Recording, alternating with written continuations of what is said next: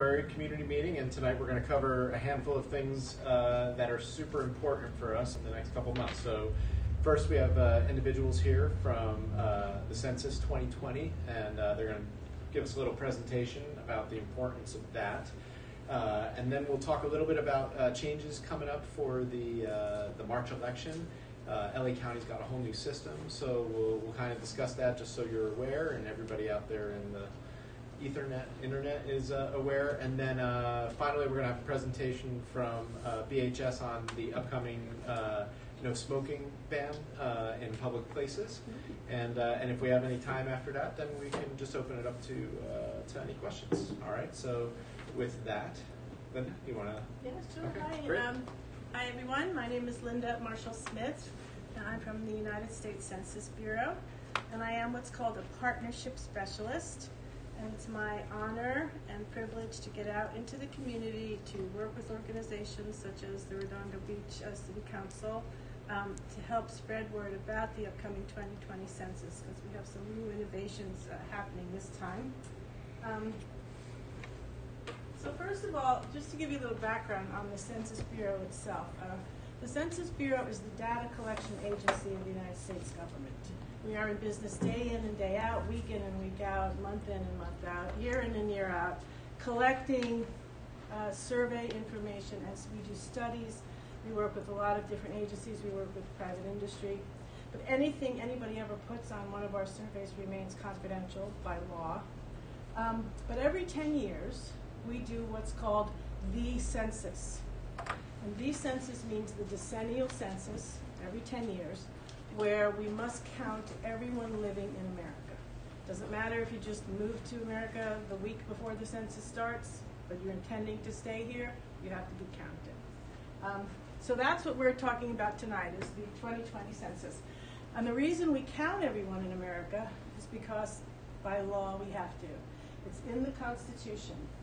Article 1, Section 2 states, "The actual enumeration shall be made within three years after the first meeting of the Congress of the United States, and within every subsequent term of 10 years, in such manner as, as how by law it shall direct."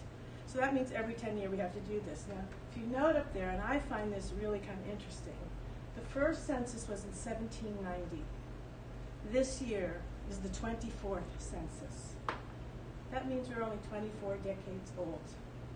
You know, if you look at it in different terms, it's like the, the kid that graduated from college and he's still living at home, sleeping on the couch, and you're trying to get him to, you know, move out and get his own place. That's kind of like, you know, the, the age of our country when you think about it, in decades, though. So, um, we also do the decennial census because it's about fair representation. We're talking about our voting coming up, even though it doesn't have direct impact. It does uh, determine how we apportion or reapportion the seats in the House of Congress. It's based on population. It's not based on voting, it's based on population. So there are a certain number of seats in the House of Congress, and depending on how many people live in the state is how many representatives you get to fill those seats. So we want to make sure we count everybody here, get a complete count, so we can get our proper representation in the House of Congress. And it's also about redistricting and the disbursements, the money and the power. And the redistricting has to do with voting districts. After the census is completed and, uh, and we submit the final numbers uh, to the executive branch on December 31st of this year, by March 31st of next year, 2021, they will give it to the states who will then determine where the voting districts are going to reside. And those are where the voting districts are for the next 10 years.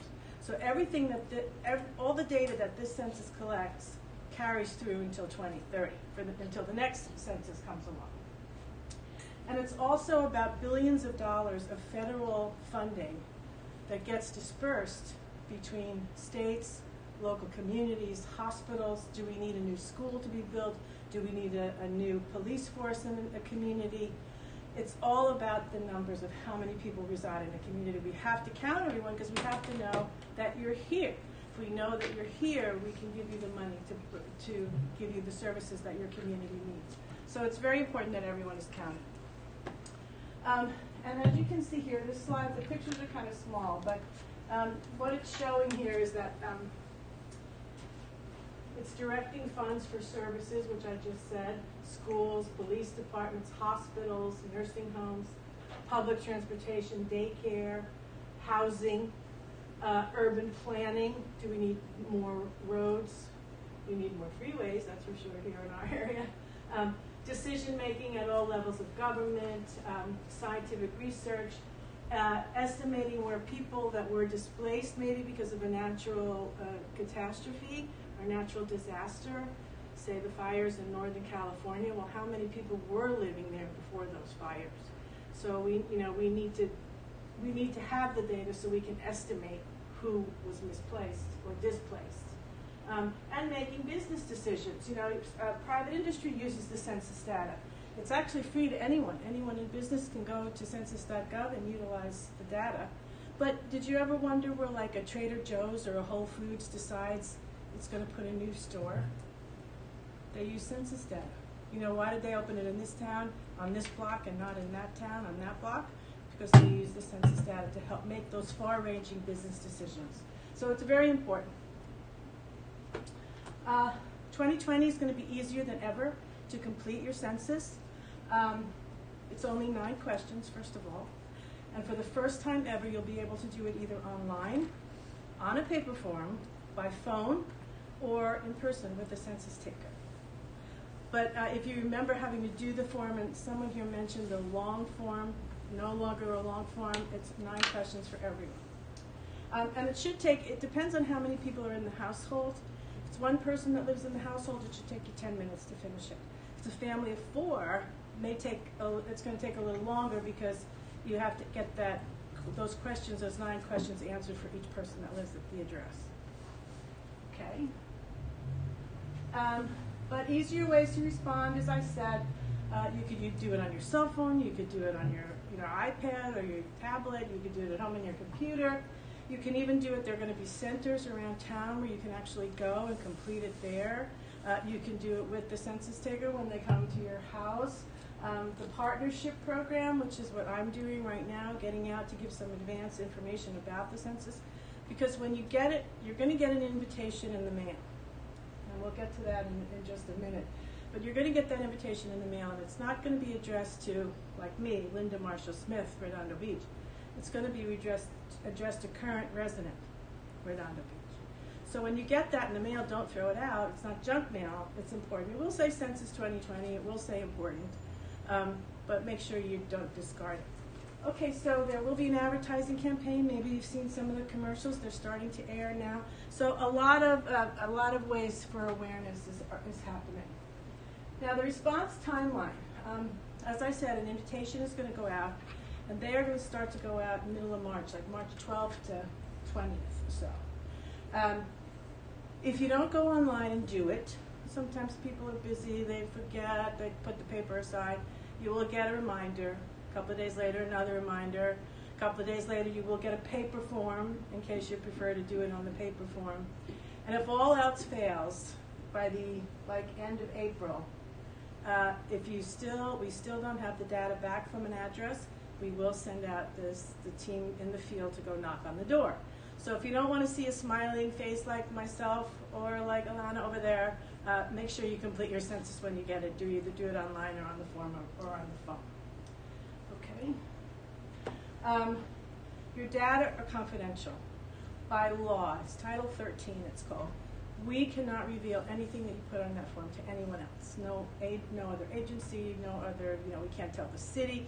You know, sometimes people will say, "Oh, you know, but I, I have this unpermitted apartment over my garage and." my aunt Susie's living up there. I don't need to count her. I don't want the city to know that I have that apartment there. It's not permanent. I don't want my taxes to go up. We don't tell the city anything. Sorry, we're not a big city. Um, we don't tell the city anything because it's about the number, and we want to make sure that we count Aunt Susie, even if she's living in an unpermitted. Uh, as long as it's a habitable residence and she's living there and she's happy, we need to count her with your form. So everyone needs to be counted in the household. Um, we don't share any of this personal information.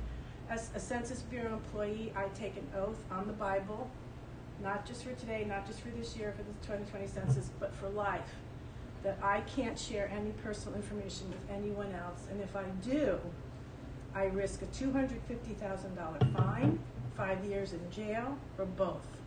So they're very serious about the confidentiality. So serious, in fact, and I have some of these over on the table. This is what's called a webcam cover.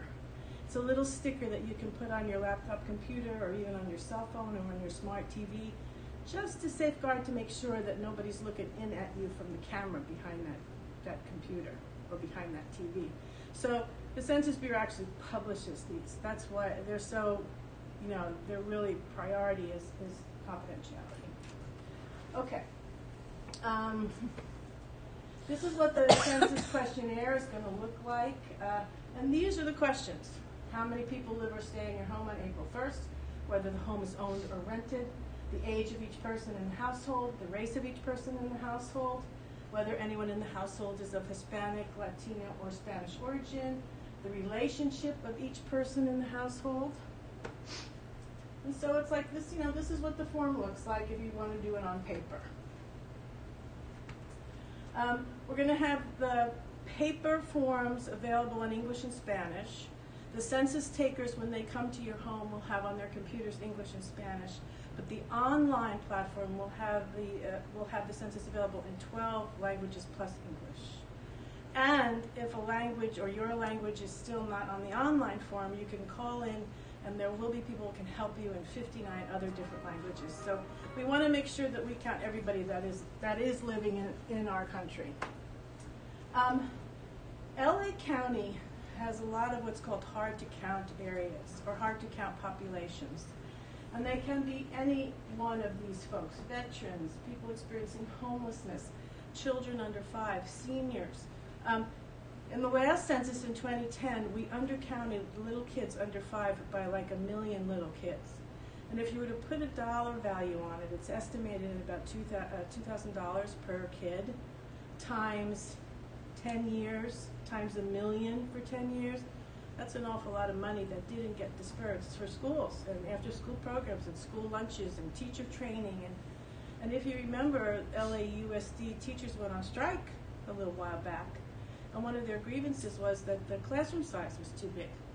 Well, that's a direct correlation for the 2010 census that we didn't count the little babies because a little baby might only be a year old now, but in 10 years, by the time 1930 comes around, that little baby's going to be 11. And is there going to be a classroom for that little kid? Is there going to be a school lunch for that little kid? So if you guys know people that have young children, make sure, you know, because sometimes the mom will say, oh, I don't need to put her on. She's only six months old. Or I'm afraid to put my baby on. I don't want anybody to know I have a baby. You know, yes, sir. Linda, so this was a question that came up at uh, Congressman Lieu's thing, but there wasn't really a good answer. If somebody's pregnant yes. while they're taking the census, yes. clearly that child will be 10 by the next census, but they're right. not born, so... Right, they're not born yet. But do you um, count? Um, they have to be born on or before April 1st to be, okay. to be counted. That's, the, that's census day. Um, Your answer. Yeah, so that's, yeah, that's it. um, uh, so that's the children under five. Sometimes renters. You know, if you guys have properties where you rent out a place or you are a renter, sometimes people think, oh, I don't have to fill out the census. The owner will do it. It's not my house, the owner's house. They'll do the census. Um, or they can also be hard to count because if it's a security building, you know, and they haven't done their form, and the census taker has to go to try to get it in person, and then they can't get into the building for whatever reason, uh, which is why we do outreach to uh, building managers, property managers, that sort of thing too. But renters can be hard to count. Um, foreign-born people or people with limited English proficiency can be hard to count, and that's why we do it in a lot of languages. But if you look here, this is what's called Los Angeles Low Response Areas. This is a map of Los Angeles County. And uh, this is us kind of over here. This is Redondo Beach right in here. We're kind of in the middle. We're at about a 30, 30% non-response rate.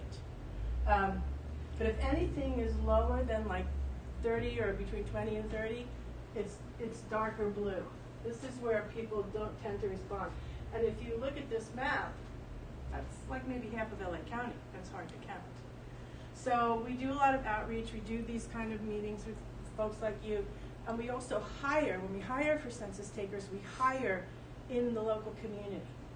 Um, so that you know you may recognize me from the park or from Trader Joe's or from church or something. So if I come knocking on your door, oh, that woman's familiar. Okay, I'll, I'll open my door to her. I'll see what she's got to say. And I have my ID and I have my census materials, so uh, you might do the census with me. So we are hiring, um, and we have our, our recruiter here. Um, uh, Elena is our recruiter. If you know anyone, uh, or if you guys might be interested, it pays pretty good, twenty-five dollars an hour. You work in the community. You also get um, mileage for your car. If you do have to drive your car, it's like fifty-seven and a half cents per mile. Um, and you make your own schedule. A lot of people do it, you know, after work or do it on the weekends. You know, as extra pay pay off their Christmas bills. You know, their Christmas charge card expenses. So it's a good way to make some extra money. So if anyone is interested, please um, see Elena before you go.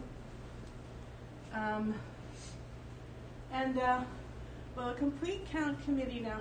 This is something, um, Christian. I, we've been trying to work with Redondo Beach on doing this, and it actually has been approved. We talked with the city manager, but what we need to do is have a meeting to train you guys on how to run or could have the complete count committee.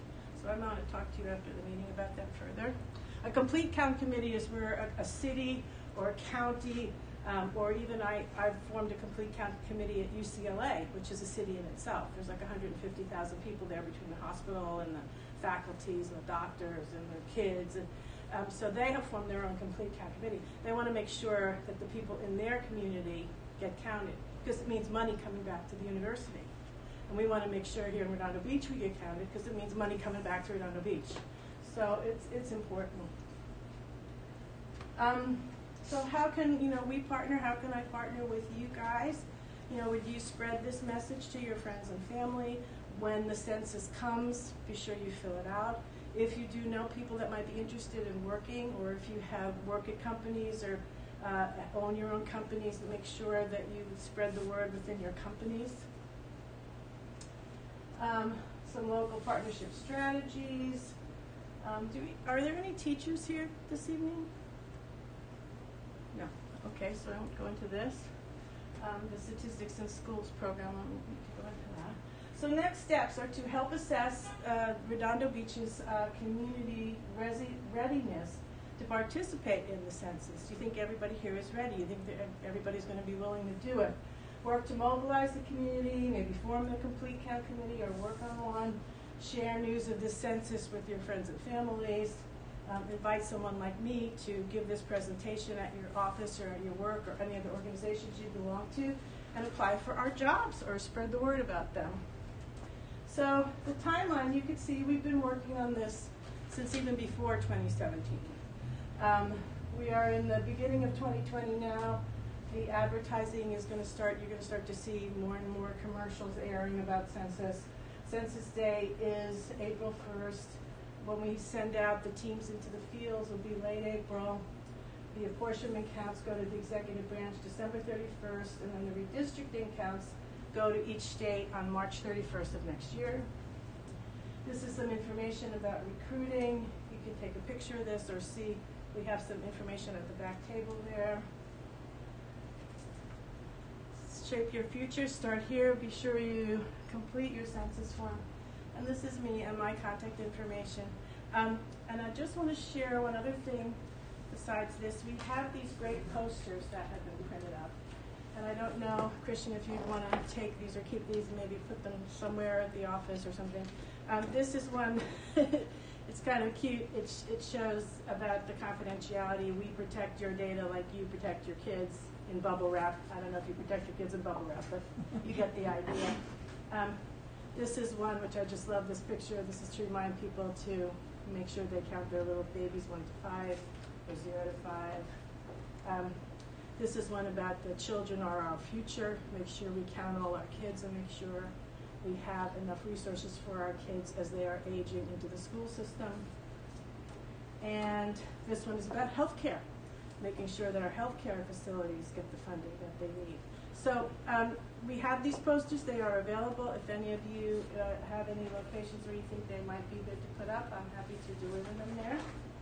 And I think that's it. Does anyone have any questions? I don't have any kids, but if you have a college-age kid who says go goes to college in Texas, say, count here or count there? they would be counted at their dorm in Texas. So you would not count them.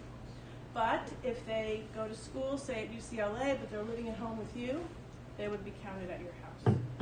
So it's where they live or stay most of the time.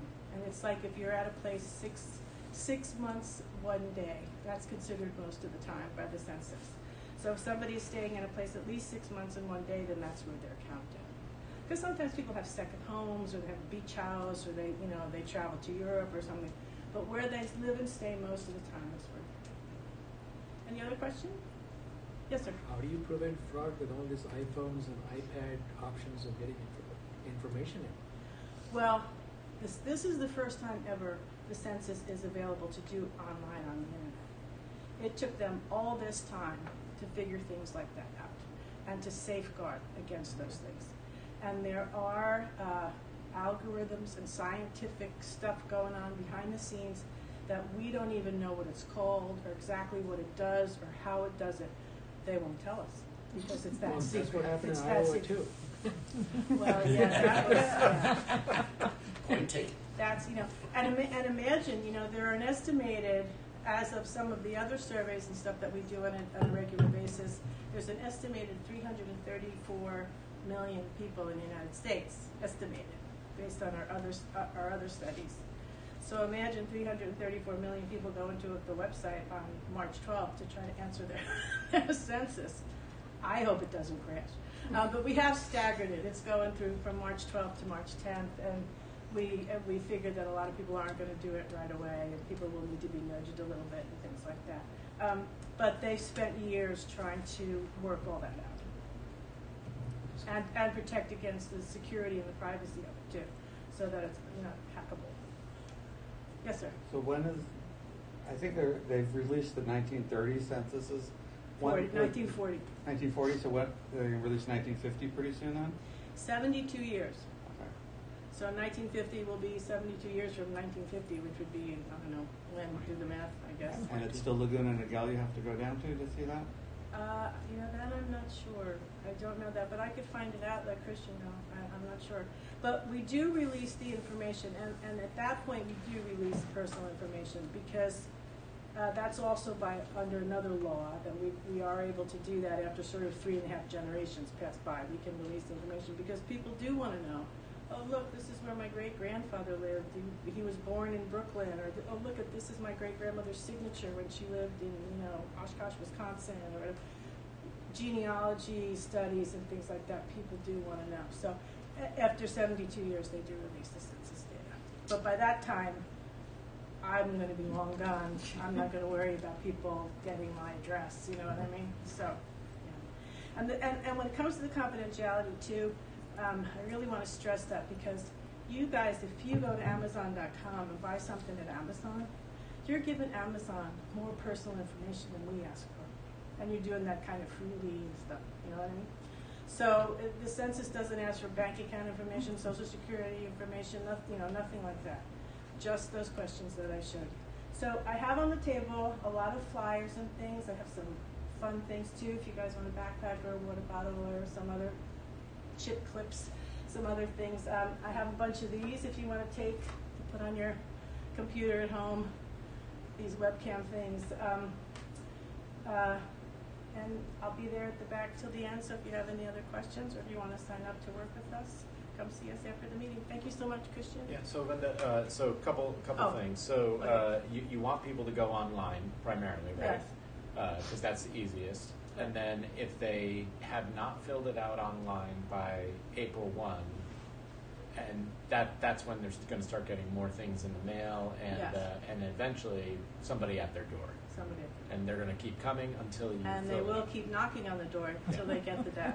So the point being, fill it out online and nobody knocks on your door. Nobody knocks on the door. Okay, yeah.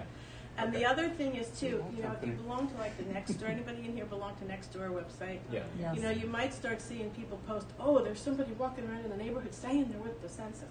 You will be able to identify a census worker. They will have a badge on. Um, they will have, uh, do you have your briefcase, Elena? Could you show your briefcase and your badge too? I don't have my badge with me.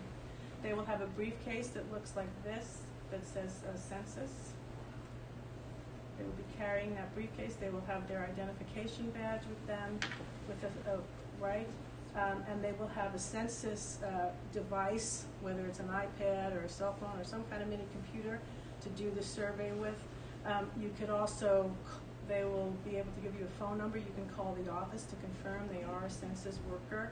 So um, if you think somebody is suspicious, but let me give you a tip. If the same person, if I keep coming and knocking on your door and you see me in your ring doorbell, and I've been there like five or six times, if I was trying to scam you or break into your house, I'm not coming back five or six times with my mug on your ring doorbell. You know what I mean? Because the police are going to be able to identify me right away. So if somebody is being that persistent to try to get your data, because it's very important for those reasons I said, you know, but our congressmen, how many congressmen in the state of California how many, uh, what the voting district boundaries are going to be, and how much money we're going to get. You know, it's taxpayers' money. You guys have paid the money. So I wanted to come back into our community and not go to Wisconsin. Not that I have anything against Wisconsin, but I wanted to come back here. Yes. Okay, suppose you have a co- congressman who's afraid his district is gonna be wiped out, okay? And so, I know this doesn't happen anywhere except Cook County, Illinois, but suppose he goes and pays all his friends to all of a sudden have three, four, five kids, even when they don't have any. Right. How do you catch that? They do, as I said, have ways behind the scenes algorithmically and scientifically to guard against it. And they also check against other data that's been collected elsewhere to see, well, two months ago, this person only had one kid. How did they all of a sudden have 10 kids in this house? They can, you know, So it- it's based Big- on address? It's based on address. It's not based on anyone personally. So it comes to your address. You know, it comes to an address, and then we have to count everybody at that address. So, I have someone that is using my address. It's an old worker, uh huh. and for whatever reason, he's been using my address. I've contacted all kinds of people, and so someone will wonder how come he gets mail at my house still. Interesting. Yeah. But he's not living there. Oh, it has so you, never. yeah, Right. So you would not count him at Absolutely not. I wouldn't want to come. No, you don't count. But you won't be counted. You don't count. but if I were to come and stay with you, and I'm going to be there for six months, Right, then you gotcha. would count me. What happens if that person is a overseas visitor who comes and stays for six months? You count them. Even though you know that for the next ten years they won't be there. Right. But if they're here now, and if they're going to be here for six months and a day, they get counted. They get counted. Any other questions? Thank you very much, Christian. Thank you. Thank you. So uh, I was hoping to have another slideshow because uh, the presentation I saw last week was was really interesting. We we did talk about this, but um, it was uh, we were talking specifically, which Linda just referred to, about our congressional districts, right? So she mentioned that uh, this count really determines not only congressional districts throughout the United States, but um, but the funding and resources that can come to those congressional districts. And what was really fascinating was, out of the 53 congressional districts in uh, in California, the slowest growing district is Ted Lieu's district. So it's the, the, the out of all 53, the, the slowest growing. So uh, so that means in previous counts there are. Uh, when you compare it against all the other counties, we are growing incredibly slowly, right? Which is kind of funny because we always talk about growth here in town a lot. But um, but so it's super important for us. So I, I highly recommend. Go, what is the website again? Www. Well, 20, www.2020census.gov. You can go to the website for more information. Uh, that information will be on a lot of these flyers here. Uh, when you get your invitation in the mail, you will get a specific URL to go to to complete your form. There will be code on that on that letter that you will type in when you get to the website. The interesting thing is, however, you don't really even need the code to complete your census. You could come to the library, like say the main library in Redondo Beach is going to have a, a, a questionnaire assistance center there. You can just go and fill it out just by putting your address in. So you don't even need the code, but you will get a special code. uh, Okay, so you get- www.2020census.gov. Okay, and uh, and and the one thing I will point out is that uh, they are concerned that California is going to lose a congressional district this year. So keep that in mind. yeah, Using Don. plenty of residents. What's that? Um, You continually say that this is used for the federal designation of districts. Is it not also used for the state outlining of districts? Yes, it will be. That's right. It'll have a direct effect on how things are redrawn. Uh, but that, that'll be done at a state level. But yes, all the, infor- the information will translate back to the state after, after it's done uh, Right, on a federal basis. they- In March, they get accounts. The And we get that we get that information in 2021 though, Yes. right? Yeah. March so- of 2020. And and as we know, right, we talk about stuff that, that, that has direct impacts on our RHNA numbers, all, all the things that we're, we're hyper focused on these days. So uh, so it will be it will be important to make sure we get an accurate count. So so And, and, you know, it's all based on population, and as I said, even, even business makes decisions based on population. Um, I have a partner, they're the, the National Association of Music Merchants, and they have their big trade show in Anaheim, uh, in January, it's called the NAMM Show. Um, and hundred and fifteen thousand attendees and two hundred, I mean, two thousand plus, uh, exhibitors, I mean, it's a huge thing at the Anaheim Convention Center. And when I first called them to uh, request if we could get a booth there and you know share news of the census, um, the person that picked up the phone happened to be their senior research analyst, and she said, "You know what? I use census data all the time for for, for the work that we do here at the association." So people use the data, and it's available to anyone. It's available to small business. It's available. You know, say you're a, a French chef and you want to open a high-end French restaurant in our community here, and you want to have appetizers that are going to be twenty-five dollars an appetizer. Well, you're going to go to the census data to see if the median income of our community is going to be able to support having twenty-five dollar appetizers in this community. And if not, well, maybe your appetizer is going to have to be ten dollars. you know, or you're going to open your friend, fancy you get French the, restaurant where do you get the income else. information? Pardon me? Where do you get the income information? It's statistically available at census.gov. But it's not It's part not- of your nine questions. It's not part of it? No, it's no, it's we don't It used ask to it. We don't ask it in, on the on the census, but we do ask it on. As I said, remember when I started, the Census Bureau is in the business of collecting data and doing studies and surveys all the time. And there is another. There are other surveys that that uh, just focus on the employment and unemployment. Other surveys that focus on people who may participate in programs such as food stamps, Medicare. Uh, uh, another study that focuses on uh, the economic situation, what the cost of living increase is going to be at the end of the year, the COLAs. That's from uh, information that the Census Bureau collects from the Bureau of Labor Statistics. Um, what Social Security is going to go up at the end of the year. That's from our work. Um, and we have one study called the American Community Survey, which is more. It's actually the census long form but it's been separated out and away from the census, and it's a separate study, and that's where we ask about people's income and how long it takes them to commute to work. We look at traffic patterns, commuting patterns in that study, a lot of different things. Yes. But this is the only mandatory requirement. The other stuff is all voluntary. No, the American Community, the American Community Survey is also mandatory. The other ones are voluntary. But they're samples, you know, it's a sample. So if your house, and your household can get sampled for one of those surveys right after or before you do your census, and you're gonna say, oh, but I just did my census, I don't have to do this. Well, you know, as a sample, you're representing thousands of other households, so you do, if it's one of the volunteer studies, you do have the right to, to pass and say, no, I don't want to do it. But if you do that, then you're silencing the voices of like five thousand other households in our community. So that's not good. Yeah, So- Ron. So don't do that. yeah, Come yeah, on, and it's- man. and everything is, as I said, you know, it's kept confidential. You know, I, I, I couldn't go home and tell my husband, oh, I met this really great guy and he works for this company and he makes this much money and I could, if I were to do that, I could go to jail for five years. And they're, you know, pretty serious about that stuff.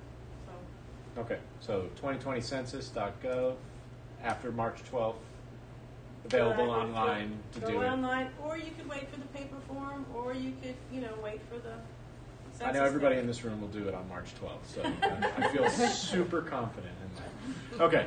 Um, Thank you. All right, you're welcome. So there are materials over there that you guys can take and swag. It sounds like, Mhm. and uh, and then yeah, and there's more material. They can go to the to the website too for other information. Anybody Oh, yeah. who's out there, right? Yeah, Okay. uh-huh. All right, perfect.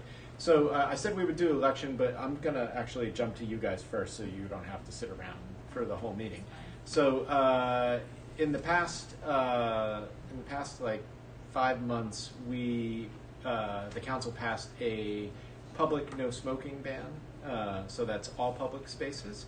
Um, and then we also created some other uh, regulations as it relates to selling tobacco to minors and stuff like that in stores. Um, but you guys are going to talk specifically about the no smoking ban, right? Okay. So, and you're from behavioral Health services. health services. Okay. So you want to come on up? Sure. Okay.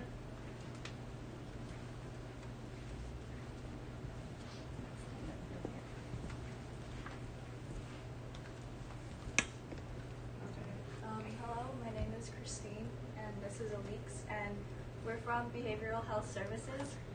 Okay, and um, first off, I want to thank uh, Councilman Horvath for um, his leadership in actually spearheading um, the ordinance that was passed and is effective on November 14th, uh, 2009, uh, which, uh, if you may. 2009 came and went. Oh, 2019, I'm sorry. That's also came. Um, yeah, that's when it was effective, uh, November fourteenth. Um, yeah, so Redondo Beach has a citywide smoking ban in outdoor public areas.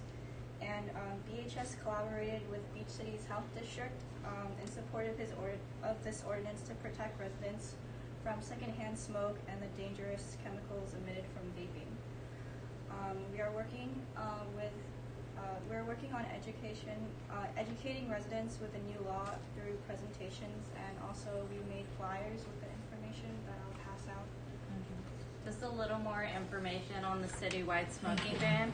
It applies to all outdoor public places, so outdoor dining areas, sidewalks, courtyards, the pier, beaches, parks, farmers market, any outdoor public area you can think of, it applies to. Um, all tobacco products such as cigarettes, cigarillos, cigars, and electronic smoking devices are prohibited in these areas. And marijuana or any plant-based product intended for inhalation are also prohibited in these areas. Um, this ordinance also declares smoking a public nuisance. So any person injured by a violation of this ordinance may bring a civil action against the perpetrator. And lastly, um, when it comes to youth, there's been a rise in vaping among youth. So any persons under the age of 21 caught on the school grounds with uh, any tobacco product will have to perform community service and attend a joint police department and school approved anti-tobacco and nicotine diversion program. And um, that's all the information about that ordinance. If you have any questions, we're here to answer any questions you have about secondhand smoke or vaping. And we're also conducting um, more formal educational presentations about these new laws and any community organizations. And um, we hope that you inform your neighbors and res- any friends about this as well, so more people are aware of this. And we're going to be distributing flyers to businesses, um, getting some posters made, and um, if the city wants, we can also help with getting signs made that can be posted around the city as well. So we'll be working with the city on that. Thank you. Thank you. Any questions? Any questions? All righty. Thank you.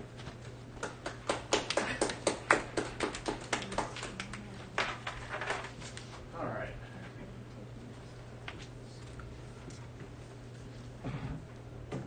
Okay. So, uh, voting. So, uh, this March election, uh, things are going to change up. The LA County, um, the LA County Registrar uh, and County Clerk's Office now, uh, we're, we're going to do things a little bit differently. Uh, we're going to have things called vote centers. Um, you're going to be able to vote for up to 12 days ahead of election day uh, at the North Branch Library. That's one location.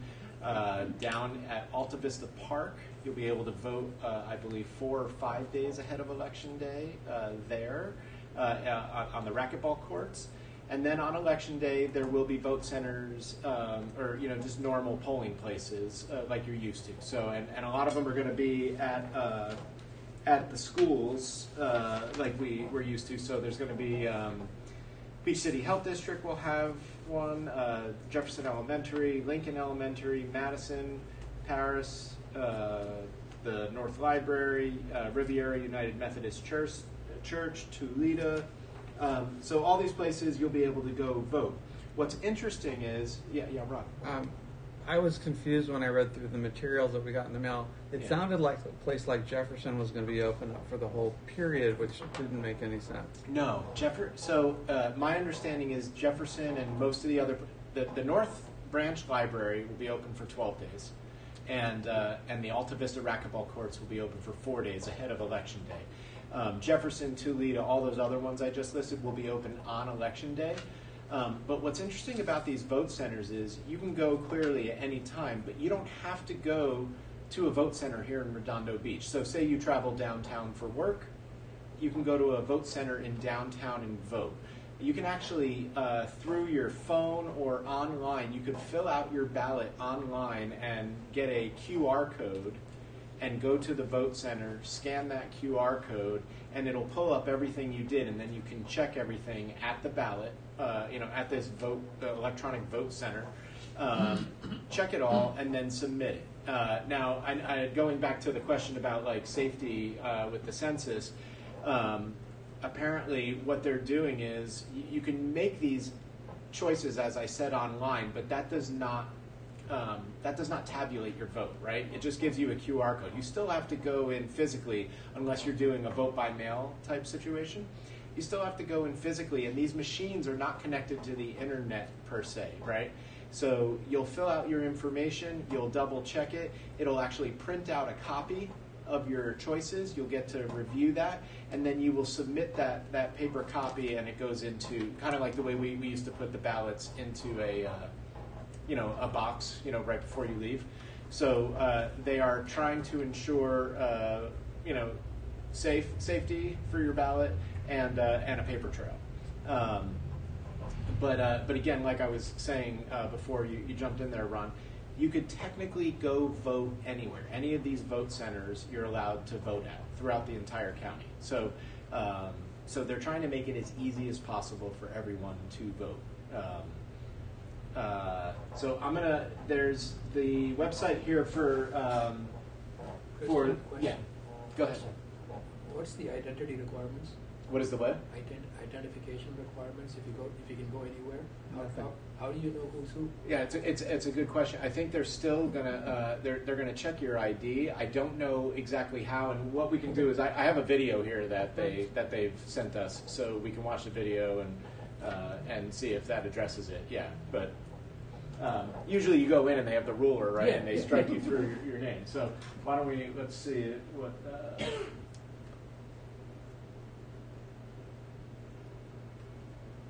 is about to get much easier. In,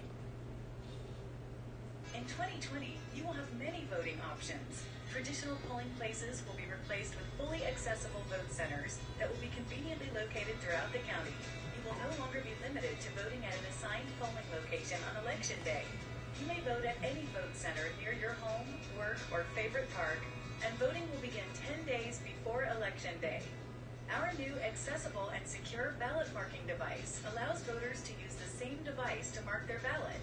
It features a user-friendly touchscreen, a tactile keypad with headphones to listen to an audio ballot, and a dual switch or AV switch for use with compatible assistive technologies. You can select your language, change the font size, and adjust the contrast for easy. The ballot marking device allows you to mark and review your selection and make any changes.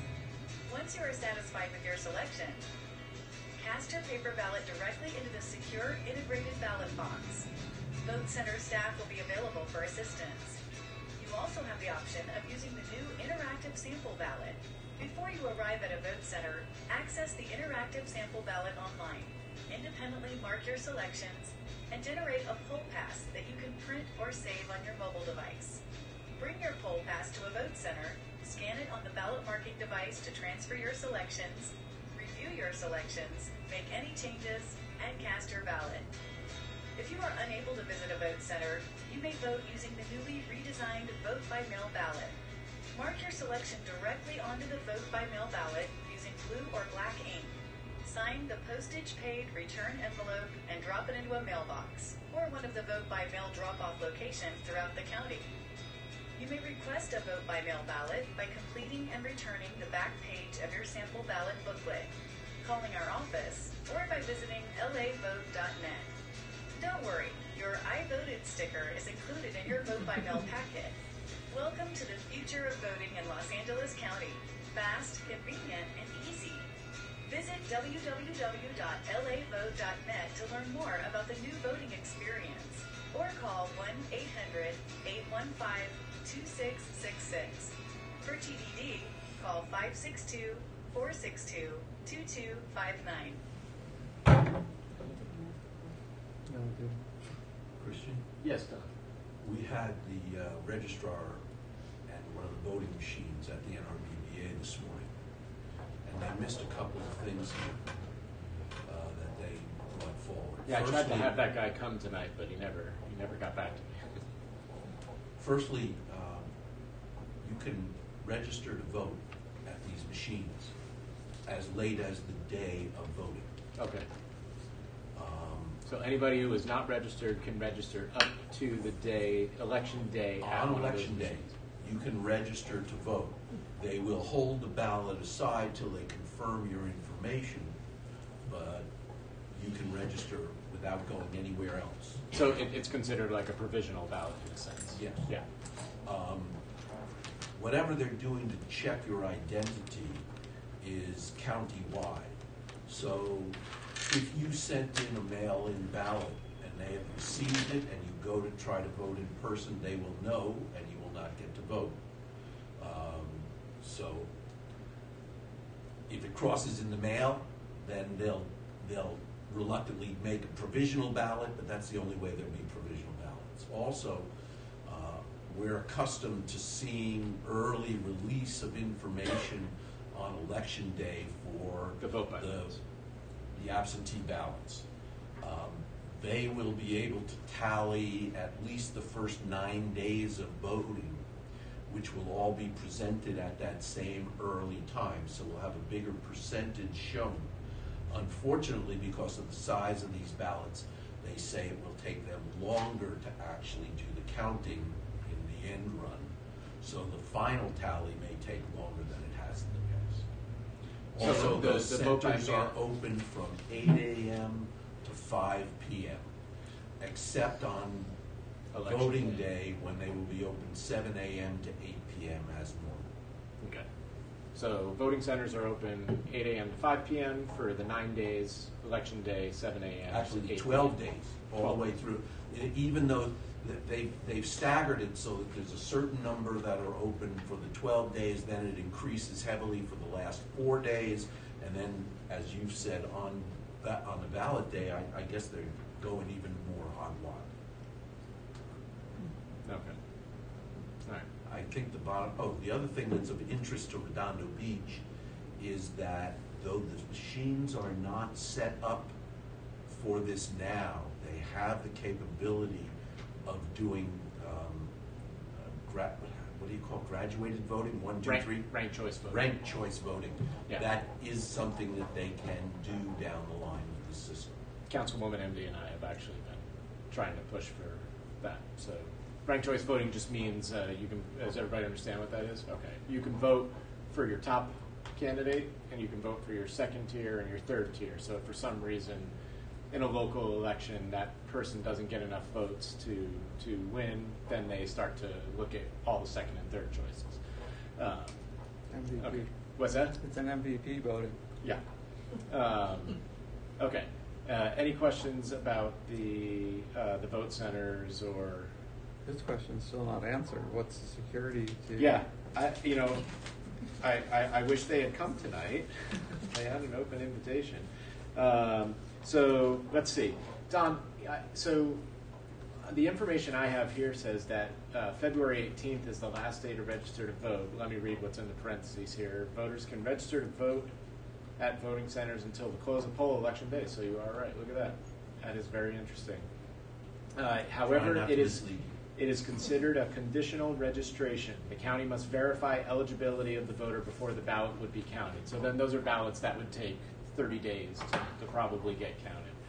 Um, I already got my. You should have already gotten your. If you are a vote by mail person, it should have come in the mail. Um, if you have not gotten it by today, then I would contact the county registrar. They, they should have come out last week, so they said wait about a week, give it you know time. But if you don't There's have also it by another pamphlet that lists all of the voting locations. there's another pamphlet that We got- lists all throughout the county. Three, Yes. three pamphlets already. Yeah. Okay. There's Um, a third okay. Yeah. Ah, February 25th is the last day to request a vote by mail ballot, and then March 3rd is the election day. And as uh, Don said, voting centers open at 7 and close at 8.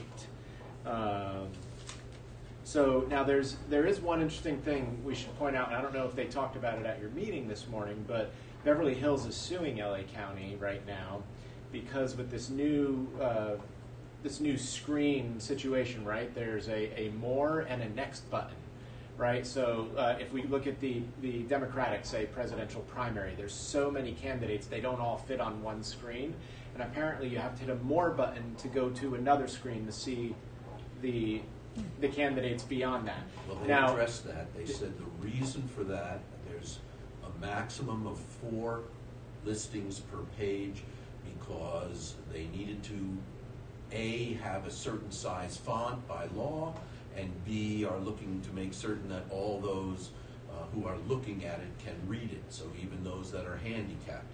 And that's why there's an audio system. So if you're blind, you can come and you can vote at this system. So uh, I, saw, I saw you laugh. Um, uh, at any rate, uh, that's what they said. That's how they right, addressed but it. but the the point I think And, why and let me tell you, having worked on it, there is a significant size more button. And if it if, if it only goes to a second page, then the more buttons at the top, so you can go back to the first page. Right. I think the, the problem was is that the next button is activated at any time as opposed to you know like when you get a, a an EULA for a software and you have to scroll all the way to the bottom before it allows you to click I agree. Uh, I think that's that's the point of contention here is that they want to make sure everybody is looking at all the candidates you know before they move to the next uh, the next thing that they're going to vote on. So I don't know if the uh, the registrar's office is is going to have that fixed, but I want to make sure that everybody's aware that hit the more button until you have made your choice or you've seen your choice, and uh, and then move on. Uh, Just So- know that there's two or three checks. Firstly, you go through the whole thing, and in the end, it shows you on the screen what you voted for. Uh, it shows you where you didn't vote, what you did vote for, that ballot. That's Yeah. when it goes into the lockbox in the back. Um, let me ask you this, since they came and spoke with you this morning. Uh, I'm one of those people who likes to take my vote by mail sometimes into the polling place. You're You know, a lot of people like, uh, you know, even though they're voting by mail, they feel comfortable going to the polling place. What uh, are they going to have collection boxes for? Yeah. Okay, so You're welcome to bring that in with you okay, all right, and drop it off. They didn't say that you have to convert it or anything else. Beautiful. Just said, bring it in, pick up your sticker. All right. And actually, on the last page, it tells you, please pick up your sticker on the way out. all right. Well, good. Well, I wish I wish we had had somebody here from uh, from the clerk's office, but uh, they are not. So, uh, any other questions about the elections? All right. So uh, then the meeting now can go to whatever it wants to go to. So we are we are open for everything. Yes, Gar. Um, the intersection at Inglewood Avenue and 182nd Street Yeah. continues to be a huge problem. People Okay. are largely ignoring the uh, turn restrictions.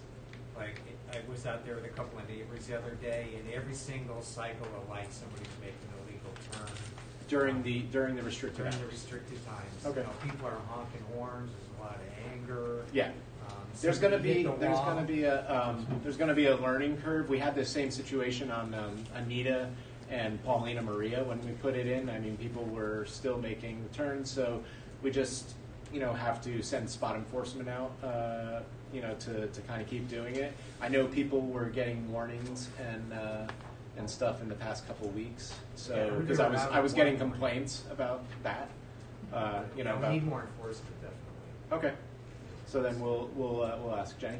I think maybe along those lines, hi um, the signage, I know I hadn't got back to your email, but you had mentioned that there wasn't room, you know, initially when this was talked about, God, over a year now, um, Public Works said there was like this protocol that they follow of like putting the, the electronic signs warning drivers that a change or restrictions were coming. Um, and that was part of the reason we were told why it was taking so long because of the whole Inglewood construction that was going on. They needed those signs and they, we couldn't use them for the turn restrictions. Um, but the turn restriction signs never, the warning signs have Right. never come. And I happen to live on 182nd Street and for many days there's been, there has been some enforcement and just, it's amazing how many police officers are being, or, you know, how, how many people are being pulled over. I mean, eight cars deep are still making the turn. So I spoke with a few of the police officers, and what they said is a lot of people aren't realizing, um, maybe that's what everyone says when they're trying to evade a ticket or something, but a lot of people aren't realizing it. So, one, my question is, are we still going to get those signs? I, I think you had talked about maybe putting one here because it didn't fit quite by the intersection. I requested putting it up uh, closer to Ripley and Grant because then there's enough space for like their concern was they couldn't put it down by your intersection because there's no roadway, right? And so I said, well, put it up a little bit further because then you'll give people the warning to know that if you go down that way, you're not going to be able to turn. If it's not there and it hasn't gone up yet, then I'll just follow up with them. And uh, and then the other thing that I did as a result of like you know emails from you guys was I said to the city manager that we need a um, just kind of a, a protocol for when we do make these kind of changes throughout the city. Um, that this is how it's going to roll out. The council, after the council makes an approval and sets that whatever the date is, you know, for when something's going to happen, that X amount of time beforehand, the signs have to go up, you know, and then there's going to be a two week, say, warning period with spot enforcement, you know, just things that kind of help people ease into it, um, because I've, I've noticed that we're, we're doing it different every time we do something around town, and I, I think it would just make it easier if we all knew this is how it's going to roll out. Yeah, I, I'm surprised to hear that from you because um, the traffic, the city traffic engineer is the one who sort of said that this is the tip, this is the protocol. Yeah, it doesn't. It doesn't formal. seem to me like there is a uh, a strict protocol for it. So what I'd rather say is I'd rather have it be kind of set in stone. Right. And then you know, then then uh, PD from their perspective can say, okay, they have enough lead time to schedule in spot enforcement. You know, specifically for those areas that have, have now had a recent you know change, right?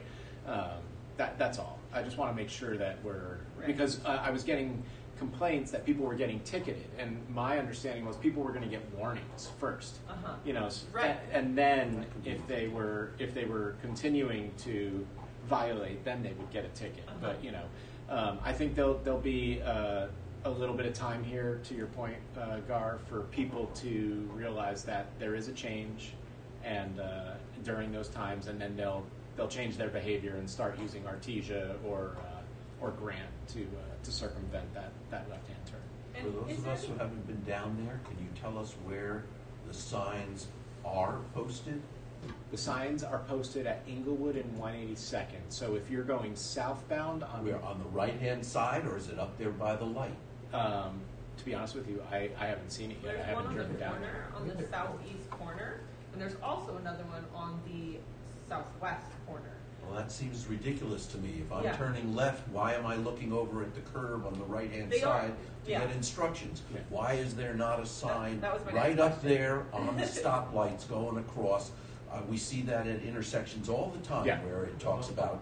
No, it's a time good it's a good restrictions. question. So I will have to ask Public Works on Tuesday about that. Okay. Yeah. I, I thought one PD, maybe someone mentioned they were maybe concerned about the wind because they got the extra large signs. Okay. That posting it up on the light, something about the wind could potentially bring it down, but can we get a That, that, that could be a possibility, because we've, we've actually talked about changing that, um, that, uh, hardware at that intersection, and that, that requires completely new hardware from the ground up. So, uh, that, that always could be a possibility, I'm not aware, we'll just have to ask Public Works. Yeah, it seems maybe like a signage issue too, because I, I mean, there were three cops many days and just ten cars pulled over. Sometimes a cop would pull over three or four cars at a time, and people were still just making the turn. So that makes me Yeah. think people genuinely are not understanding the turn restrictions. And it's a bit, it's a busy intersection, so it's, it's gonna take a little bit of time, but, but I appreciate it, and we'll, we'll just keep, you know, kind of working on it until we get it sussed out. Uh, All right, what else? Ron, and then So- go back to Ron. Is there any enforcement of this non-smoking ban? I mean, we have dogs in the park, if there's no enforcement of the anti-dog rules, are they gonna, it's gonna be another toothless, uh, law? It's gonna be something that is enforced if it's seen by somebody who can do the enforcement, but they are not walking around looking for people, uh, trying to, to catch you smoking. It's just, if they happen to see you, you can get a ticket, yeah. So, uh, then Matthew. Um, Green Line Extension, that's Yes. rearing its ugly head again. Yes. Um, they've approved the DEIR, so they. They're starting, spent the they're money, starting the they're scoping it process off, now. Like Yeah. this month. Mhm. Um, they say they're starting road shows again in Yeah, they're gonna do, they're gonna do meetings again, uh, outreach meetings, uh, as part of the beginning of the scoping process. I don't have dates for those yet, but that will be happening. Can we get someone to come in and speak Yeah, we can to do us? another, we can do another meeting here, uh, uh-huh, absolutely. Yeah, they're gonna, they're gonna be doing a lot more outreach as a part of that process, now that it's officially been approved by the board to, to start. So, but I'll make sure that we do a, a meeting here as part of it. Matthew? I have a question on the, the smoking ban. Is the city gonna put up signs to say no smoking or public, any So- signage across the city to? We haven't had a conversation about it, but I know that they mentioned, uh, you know, putting up signage. So I think probably in specific places, uh, parks or, uh, or down by the pier, whatnot, um, any place that maybe doesn't already have that type of signage, yes, it would go up. I don't think, we're not gonna put it up on every street corner.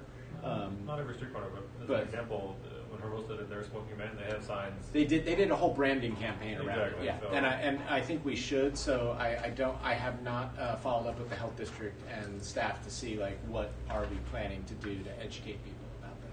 Uh, but but I think Hermosa did the right thing. You've got to have a little bit of a campaign Education. around it to build the awareness. Yeah. Thank you. Yeah, absolutely.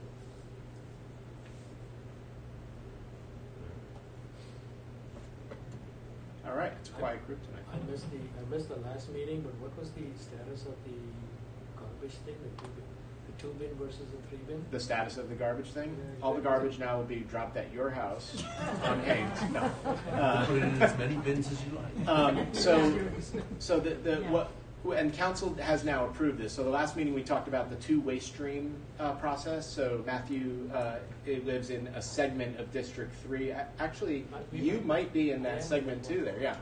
Um, so, uh, so we're switching to two waste streams. All right. What that means is your your gray barrel and your blue barrel will be picked up by the same truck, and they will be taken to the same facility, and it will be sorted there. They will they will actually have probably higher diversion rates of because what we've learned is that a lot of people are not recycling the right things. So uh, in this case, everything will go to one one area. It'll be sorted by the Athens people, uh, the blue and gray barrels together, and um, and that'll be taking place uh, in the area of District Three where you are and Matthew is, uh, and then all of District Four and a small section of District Five. And we're going to do that for six months. Uh, so that'll be only two trucks coming uh, down your street uh, during the during the day, and uh, and then we will evaluate it and see, you know, how, how is it functioning and working, and uh, and it'll come back to the council for an evaluation at that point. Don. Isn't it true that, um, that commercial trash has always been sorted in that manner? And that really the only reason for saying you want a recycled bin is because because you don't pay for a recycled bin, and if you have enough recycled bins, you don't put, you, you can reduce the size of your regular bin, which is what you pay for. But it was my understanding that hundred percent of all commercial waste is already going through a Smurf. I don't. Um, I don't know. Uh, they they definitely the in under the new contract with Athens, there are requirements related to state laws for diversion where they will have to separate out now at commercially. I think organics possibly from the recyclable and wet trash. Um, I'm not 100% positive. So commercial trash all might go to the the MRF like you're talking about. Um, and the MRF is the, their one of their facilities where they, they do all this sorting. Um, uh, but we don't pay uh, with with our contract with Athens, and I don't know if it was Then- different the- than the previous one. Residential is different. Yeah. I was simply addressing commercial from Yeah. my recollection. Okay, yeah, no, I'm, I'm not I'm not quite sure, but uh, but we can always ask that question of Athens. So So the green stays the way it is. the green stays the way it is, yeah. And uh, and you know I think what they're going to even try to do is because we talked about it and we said you know we they can always come back to another meeting is a lot of people are also confused about what can Holly and I were just talking about it before the meeting what can go in the green barrel right um, it's it's all organics uh, so you can technically um, a lot of stuff that you're throwing in your wet trash can technically go in your green barrel you know all your food waste um, so. Uh, I think they're going to try to figure out how to grow that program and make sure that uh, organic stuff is going into the green barrel in the future. But right now, we're just trying to see i- in these areas. Clearly, you know, three trucks coming down the street, uh, it, it highly impacts uh, not only the, the roads, but it impacts uh, everybody trying to park and whatnot. You know, in uh, District Four, the, the roads are tight. People are parking on both sides. Trash cans are out. They, you know, you're losing parking spaces. So uh, we're going to see how this plays out over six months and then reevaluate. Paul, go Did, ahead. they, did Athens give a reason why they didn't do it citywide? I think well, when they when we redid their contract, it was something that I had asked about, and uh, and they said they they would be willing to do it in a pilot fashion to see how it how it works out. They do two waste stream systems in other cities, so it clearly you know can uh, and is a functional process. But uh, but they were willing to do a pilot without charging us. So I think that's you know that's probably the case. Did they say any indication of what makes it a success or not? Um, no, no, but they will come back with metrics when they Right. when they present. You know, Probably the same amount of trash. Um, no, it's going to be the same amount of trash. So uh, if, if you think about it, right, you you may actually need more trucks. Uh, even though it may be only one truck going down the street, you may need more trucks because those trucks are going to fill up faster, right? Um, so yeah, with that these are all the things they're going to need to figure out uh, until we all figure out how not to throw away as much stuff. Or, yeah, uh, Jenny, and then Rob. you too, I forgot, um, about the, the pavement that was on Inglewood and then there was a bunch of asphalt left on our street. Yes. That never got picked up. Did you ever have a chance to figure out who? That never got cleaned up. Mm-mm. Okay. Uh, well, no, that's that's news to me because I thought it did. So okay. Yeah. No, the this the regular city sweeper, s- street sweeper, excuse me. It can't pick it up because I see No. it go over it, but it's too Yeah. dense or I don't know. So I think it has to be the the people who did the pavement. They had a more heavy duty sweeper. Okay. They may have to come back. Is that right in front of your house? No, it's actually up like my neighbors and up Closer further. toward the railroad tracks. Yeah. Okay. I'll I'll uh, I'll resend that email tonight to Public Works and, and follow up on that. Oh, Public Works. Okay. Yeah. And they're the ones who did all the sidewalk like shaving too, and our oh that was nice. That was. Yeah. they So so what we try to do is anytime we're doing um, a a repavement program on on any street, we're uh, they're going to see how much bang for our buck can we get, and in that case, right, uh, a lot of those um, curbs along Inglewood were not ADA accessible, so they made sure to build that into the contract uh, for for that. So that's why they spent I think like three weeks doing just the sidewalks, and then they came in and did the the pavement. Uh, and then we do that. We, we do those um, every year. We have uh, funds that comes from federal government, uh, CDBG funds, and a portion of those funds always goes to creating uh, ADA curbs uh, in the city. So right now, um, actually, my my street uh, and the street over, there's like about eight curbs in my neighborhood that are, you know, we're, happen to be in this year's, you know, bucket of ones getting done, and then I saw a bunch getting done in District Five. So I think it gets apportioned throughout the city and, and just rotates each year to where wherever it's needed. Ron. So is District Three still in the street repro- improvement fund for this year? Everybody, yeah. So, um, so every district is. We've changed, and uh, we talked about this last year.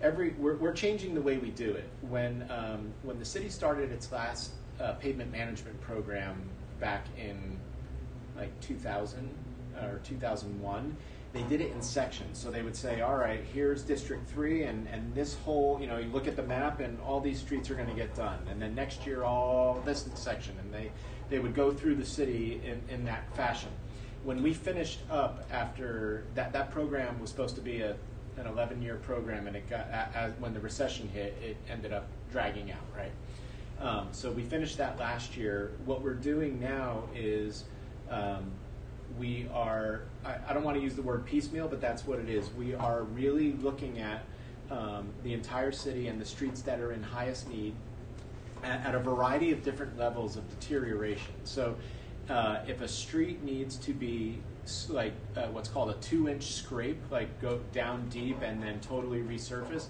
uh, the amount to do that is ginormous, right? Versus a street that may just need a slurry seal. Um, so we're we're doing two programs this year. One is a slurry seal program, and those are for streets that are uh, within like a five to seven year period of since they got paved, because we can extend the life of the street for um, an insignificant, well, a, more insignificant amount of money than if we were to do a full repaving, right?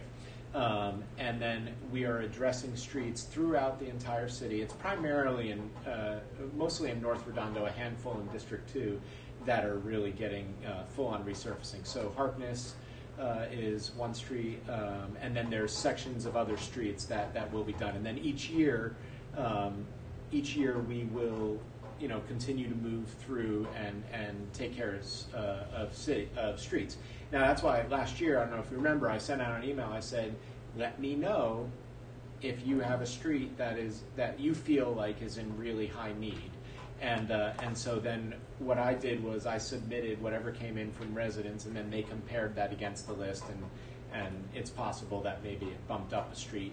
But we're we're primarily looking at which streets are getting done uh, from a, a mathematical perspective because we have these machines every three years that go through and look at the entire surface of the street and actually grade them for how good or bad they are. So that's how it's it, that that creates what we call our pavement management index.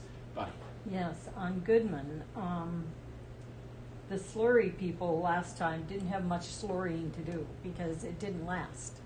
Before um, the rain season came, which isn't here yet, um, fully, um, a bunch of us called and they said, okay, it's going to be done. Well, they came out and they just, I mean, it's so thin, it is now wearing down. A slurry or is this like a pothole Just- patching? No, they Because we, didn't have, we even- our neighborhood hasn't been slurried. In, Our, well, you know, uh, uh, uh, we haven't been we, we, we haven't been repaved in, in 20 years. Okay, So- if you go down yeah. Goodman, you'll see exactly where they they put thin strips. Okay, so then that's that's that's just like touch up work kind of stuff. Right, Okay. and the touch-up work is not holding up. Okay. And how can we find out where we are on that list? Because everybody says we're on the list, but I don't know who has the list. No, th- so there is. There's a. I, I can. Uh, I can. I'll put it up. I'll, I'll. I'll put it up on my website and then send out a link to everyone. the- Yeah, the whole because pavement that's the management index. problem Yeah. we've had is we request things and then we don't hear about any follow-up. We don't see anything done. And then when we see something else get done that maybe isn't on our priority list as the greater whole community, um, it seems like that could have been put to the last and the streets with the potholes could have been done. But, you know, it's right hand, left hand. Yeah, we're spending like ten million dollars this year. Yeah, well, I hope they Yeah. spend a lot Yeah. our area. And how can we tell what? How can we tell when our area is going to be done? Yeah. So we. I will put up the. I. I. I can tell you which streets are going to get done this Okay. year, and then Okay. sometime this year we'll find out what streets are going to get done next year. All right. Um, but they're going, you know, I, I don't know if they have a five-year plan that lists all the streets, but the pavement management index will list the conditions of all the streets, and we can kind of gauge which ones will be done sooner than later based on. Keep saying we're on the list, but. Everybody's on, the, the entire, the entire Yeah. city is on the list, yeah. Yeah, the point is, we're, we're trying, to- we're trying to do it differently so that we can get the best bang for our buck and we can take care of our streets longer and, and basically raise the index. We, we don't have bad streets, uh, really in comparison when you look at other cities. Uh, well, I'm just saying, if you, if you go by this pavement management index, we, we don't. Um, so, but, but, uh, but with that said, everybody likes a, a freshly, you know, paved street, so, uh, so we're trying to do what we can in a situation where we have dwindling revenues and growing expenditures, so, uh, it's a priority for everyone, it's just a matter of can we, how can, how fast can we get it done, and, and, uh, trying. Gar, did you have your hand up again, or? I did. Um, we had a tree on our street when they redid the water mains. Yes. Um, they tried to move it when they moved uh, the fire hydrant. The tree's dead. Um, there were some trees here by the school offices up here along Newwood Ave that were removed. So I was wondering if there's a program to get those trees replaced. So when Cal Water was doing their work, was the was the tree uh, on the public right of way or it, it uh, was on the or on uh, private property? or- That was on the uh, the green belt between the sidewalk. and Between the, street. the, okay, the right of way, but yeah, the easement. Okay, so uh, s- send me an email uh, specifically where the tree is and that it died f- when they did the Cal Water work, and we'll get Cal Water and Public Works to, to knock heads on that. Yeah, and get that replaced. So Is, is, is there a program that is putting these uh, solar lights on the uh, lane dividers? not that I'm aware of. Because two of them showed up on my street, and I was looking at it, you know, it Yeah. worked for about two weeks. Is this? I, I wonder if this is what you were talking about on Spire. On Spire Yeah. too, but on Haynes also. Yeah, those- no, I, those I, two. I think somebody's putting those down on the street. That's Oh, not, good the city's Samaritan. not doing that. Yeah, I saw it on Fire, I don't know. Yeah. Yeah, I also fire, know. I also noticed They some, some fire, people I were painting, were painting, um, on the street, like where a car can park, you know, as if, but we don't Yeah, do yeah, that yeah, yeah, either. yeah. That actually worked really well in our neighborhood when they marked them off with chalk. Yeah, Which, uh, Yeah. And put their names on them. No, but, but it actually, were, people can- were taking two spots. They Yeah. could fit three cars in there, so it, Right. it actually Yeah. worked. Yeah, well, if you if you do it, here, here's what I learned. If you if you officially, you know, if the city was to officially mark off spots, um, you you actually they are required to have X amount of space for the spot, and that'll be one car. So in a situation where two cars could have fit in that area without the markings, you've now lost technically a space. So it, it's one of these things. So that's why they that we don't tend to put those down unless we absolutely. Yeah, Jenny. Uh, I think Gar mentioned it, but do you happen to know what happened in, within the past week here at the intersection at 182nd and Inglewood where the wall is crashing? It looks like a car crashed into the, the wall there. I did. 182nd Inglewood on your side or on the Um, other side? On the south south side, No. southwest. No, I'm not aware of it. Okay. Yeah, I think Um, it happened last. I think it might have been. Um, I don't remember what day I came home from work. Um, I think it was on Friday afternoon. Okay. We had the lane blocked, police cars, tons of people standing around, and somebody looks like they hit that wall around. Yeah. You know, the house on the corner there. And it's pretty badly damaged. Yeah. You know, it, Driver it was probably scares distracted me. by the no left turn sign. I'll be here all week, folks. Tip them well. Me and my kids stand there twice a day. Yeah. Um, that is not the first time that that has happened. That Yeah. happens fairly frequently there. It really scared me. yeah. Um, I want to see if there's something more that we can do to address that intersection and the safety. We have so many kids that cross there to get to the middle school, to get to Washington, and then CDC uses it to get to El Nido, and it's just, it, it's terrifying. You take your life in your own hands crossing It's it's yeah, it's a high volume street. Is there a way that we can, like, get more lead time for the pedestrians? I mean, can we can we do more? Well, we so one one thing I've requested is, and it's a CIP project. That just means a capital improvement project. Going back to we were talking about the um, the the infrastructure there for the light pole. That requires we, we can't just replace it. it. It's a big job. It needs totally new electronics down underneath.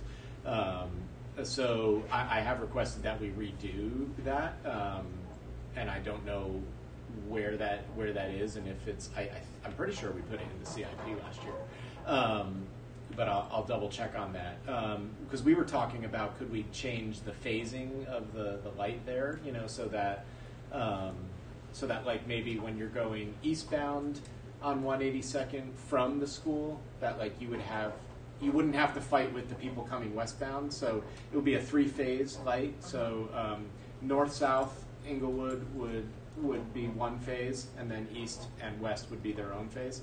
Um, but again, to do that, we would require a total new architecture of the of the light there. So what Um, about, I was told that the lead time for pedestrians was a simple like programming change, like that wasn't a hard. I don't know. Yeah, like, that, these are good questions for Gene, and we, we have to we have to do our normal. Uh, you know, I try to do that traffic meeting once a year, so we can have him here and, and get more in the weeds on questions like that with him. Uh, I do have a meeting with him on Wednesday, so I'll I'll be sure to ask Yeah, uh, about that.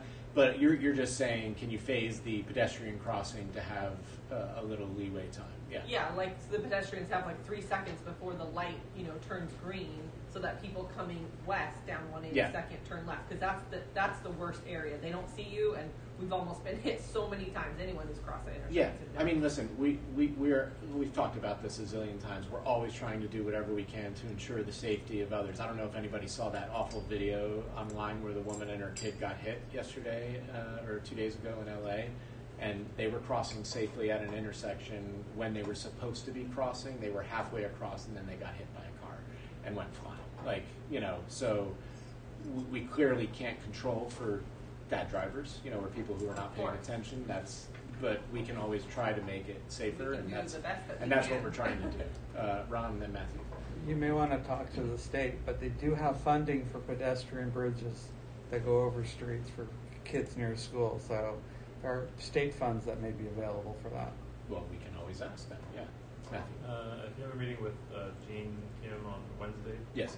uh, I've been waiting for uh, Carmelita and Goodman and Carmelita and Steinhart. Yes. They're supposed to do a bulb out. Actually, uh, so Bonnie just called me about that a couple days ago, and Yeah, so I, I talked to him like a couple weeks ago. I was like, "Oh, it's going to come to council on the consent calendar for review and approval, but it hasn't come yet." No, it hasn't. So yeah, I, I try to do a quarterly meeting with him anyways, and so I'm going in just to follow up on that. Uh, so Steinhart and Goodman were both were two areas that, that we had requested, uh, and that he's already had one meeting with the neighbors. So uh, Yeah, they, yeah, they had agreement on what to do.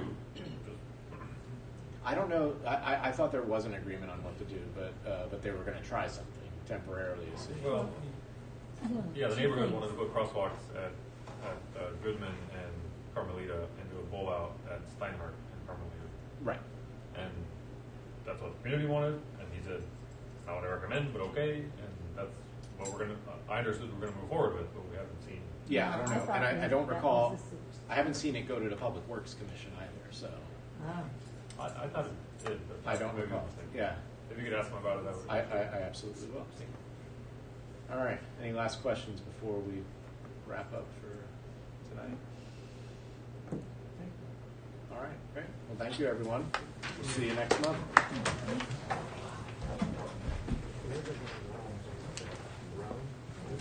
you.